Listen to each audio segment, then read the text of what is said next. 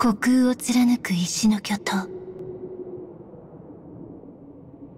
その巨大な建造物はケージと呼ばれていた。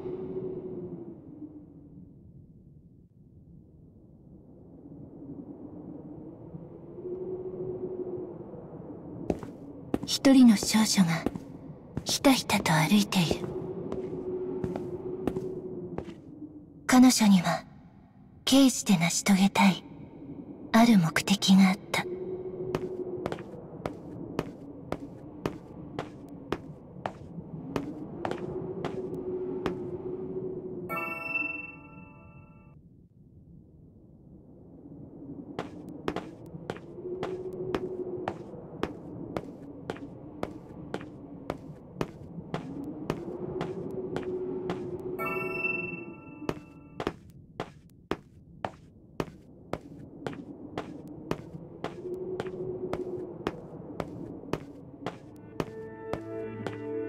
あら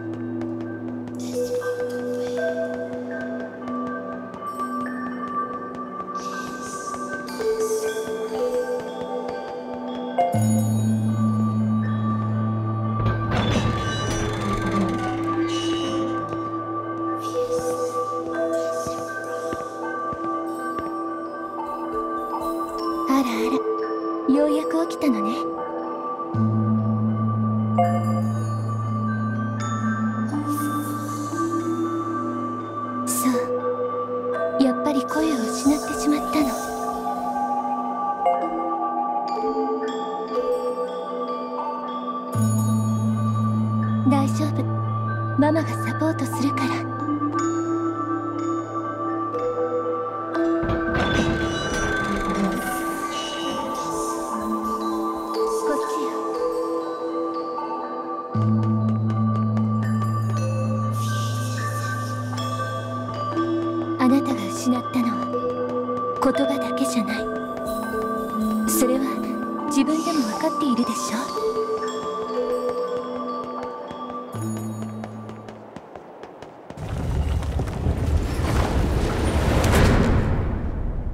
今のあなたはずっと喋れないままじゃこれは始まりの階段。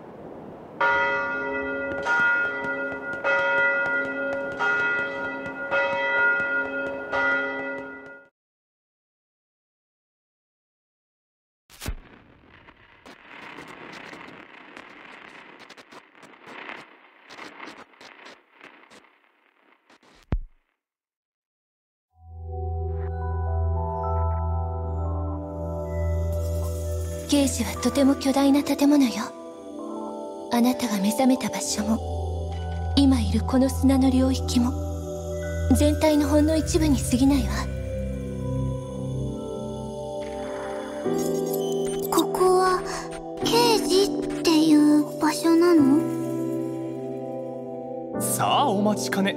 夢のお時間でございます。はあうんざりするね私たちは管理されて暮らしている。この体も感情すらも自由ではない。残されたわずかな選択肢だって自分の意思で選べるとは限らないわ。俺の見ていた現実は偽りばかり。俺はただ普通の幸せが欲しかったんだ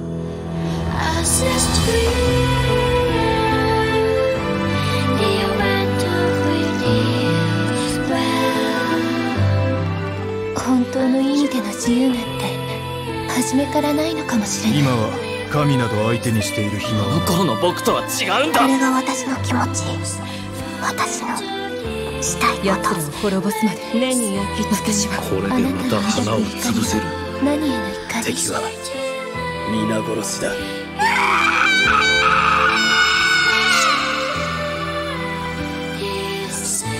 行きましょう最後のかけらを取り戻しに。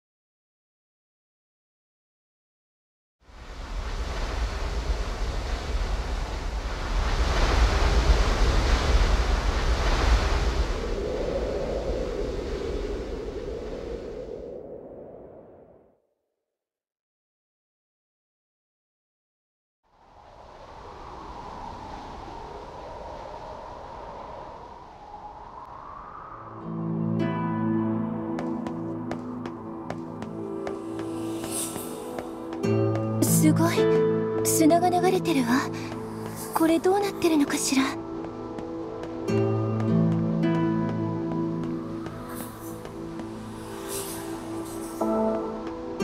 目に砂が入っちゃうから気をつけてね。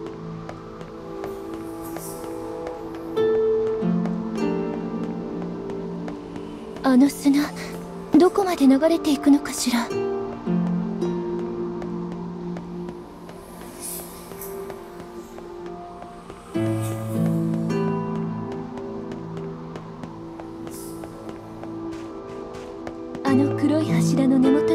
下。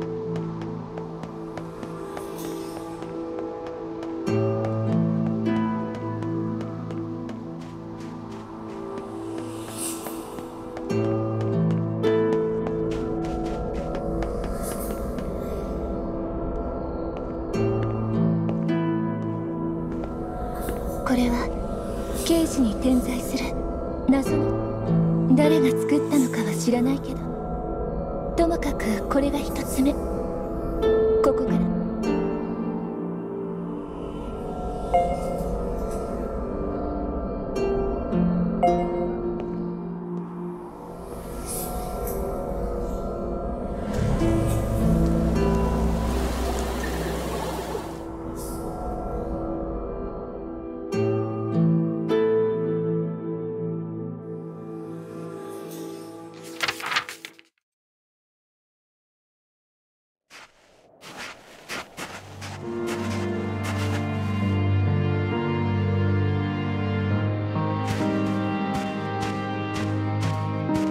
広大な荒野を二人は歩いていた。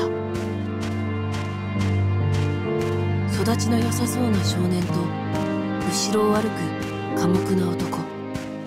何かに追われているのだろうか。周囲を気にして歩く少年の足取りには不安が見えた。砂塵の中から寂れた街が姿を現す。少し休憩しようと提案する少年に男は静かにうなずいた。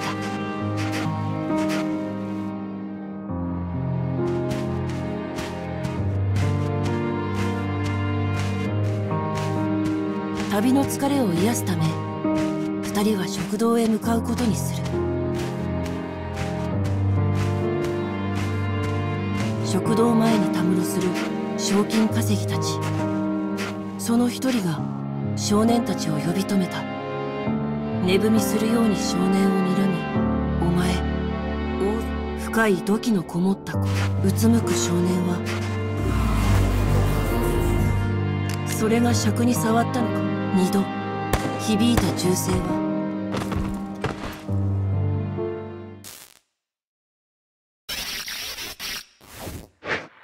賞金稼ぎに取り付いた。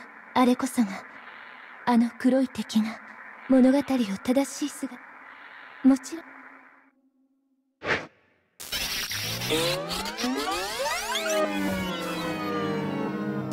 それが尺に触ったのか。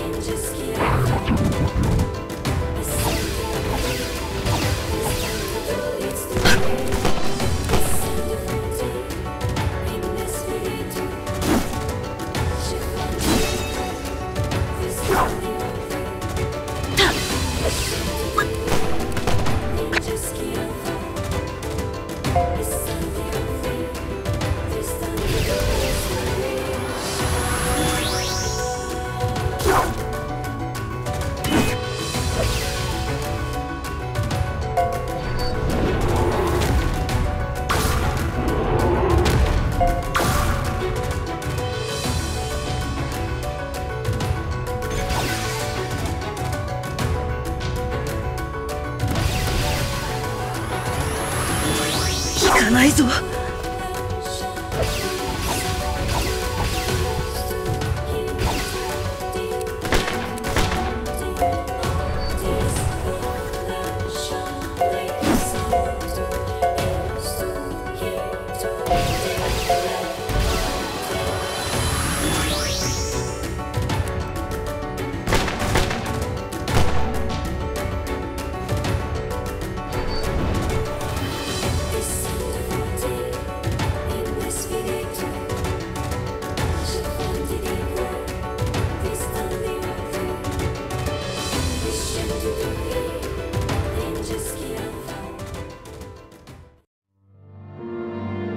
賞金稼ぎを退けたお怪我はありませんか？少年は。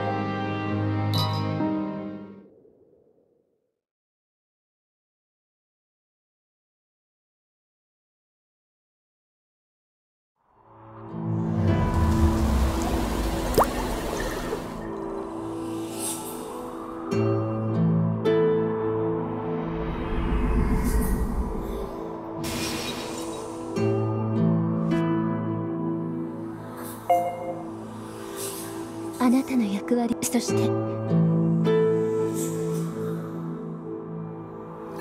さてこれからのことだいいイメージできたかしら？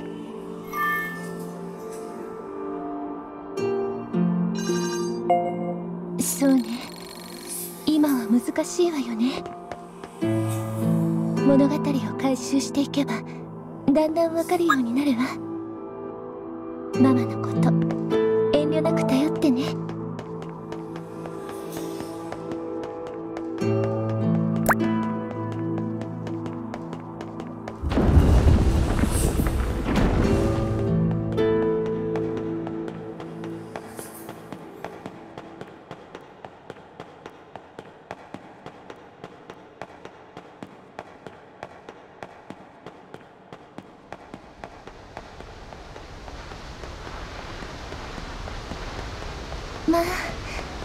綺麗な場所。でもこんなに大きな建物一体どうやって作ったのかしら。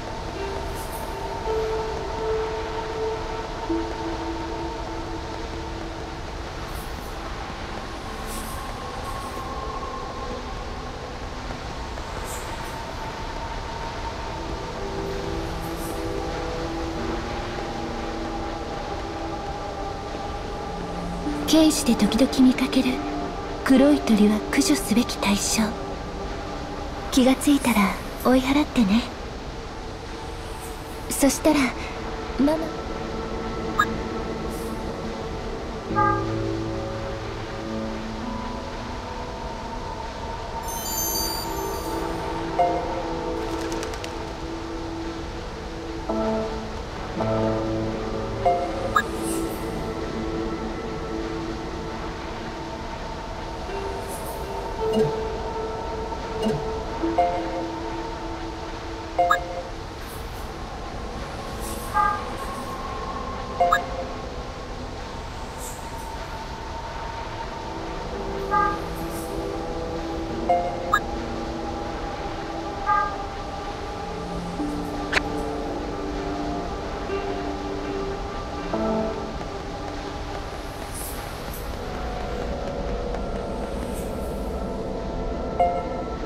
二つ目はここね。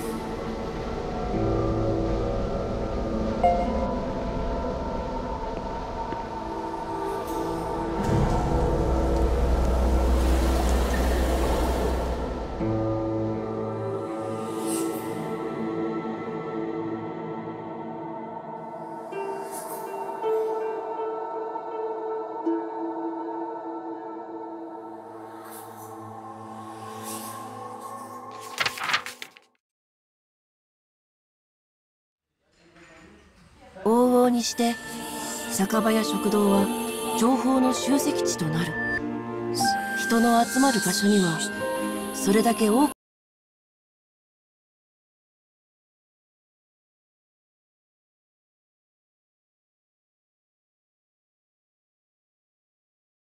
の声が集まるからだ。機械の手足を持つ彼女も